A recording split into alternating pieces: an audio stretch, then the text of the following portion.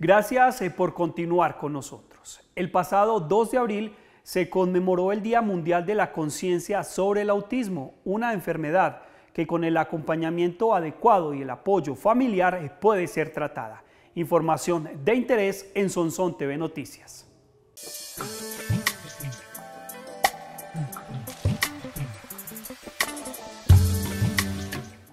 El autismo es una afección neurológica permanente que se manifiesta en la primera infancia, independientemente del género, la raza o la condición social y económica. El autismo es una condición del neurodesarrollo que se caracteriza por la,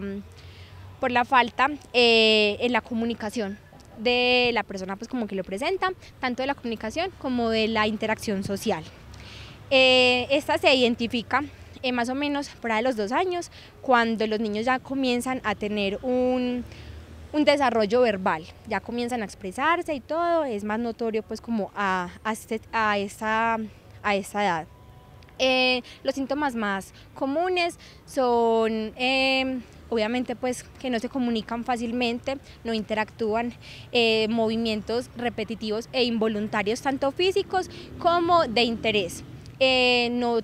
no son muy resistentes de pronto al cambio, lo que les genere un cambio en una rutina que tienen establecida eh, les presenta incomodidad porque es algo brusco para lo que ellos ya tienen como establecido. Las causas realmente son genéticas,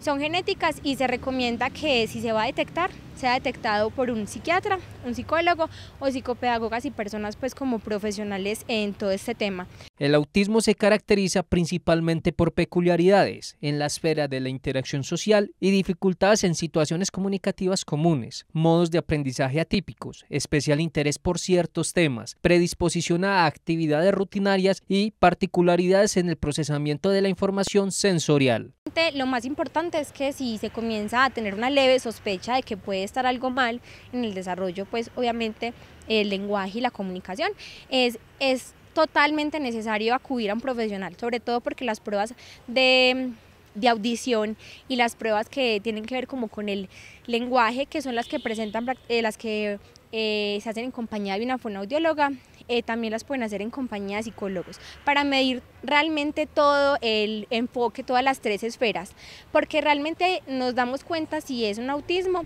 cuando hay una deficiencia en tres esferas, en la comunicación,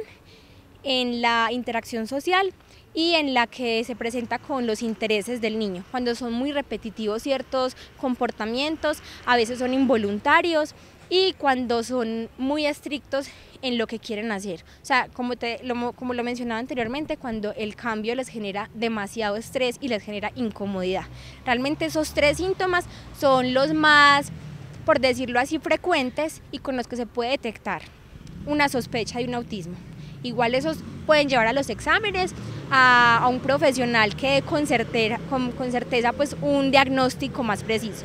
El índice de autismo en todas las regiones del mundo es alto y la falta de comprensión produce fuertes repercusiones sobre las personas, sus familias y las comunidades. Es importante que todas las personas se eduquen sobre esta enfermedad para que comprendan su realidad.